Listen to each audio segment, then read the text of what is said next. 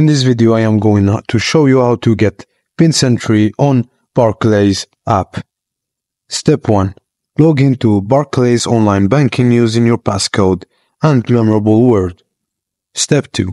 Select the Account Services menu and choose Upgrade to PinSentry. Step 3. Once you've received your PinSentry card reader, go to Online Banking, log in again and select Login using PinSentry card reader. Step 4.